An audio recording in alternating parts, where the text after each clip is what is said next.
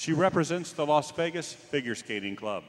Please welcome Marisa Becker.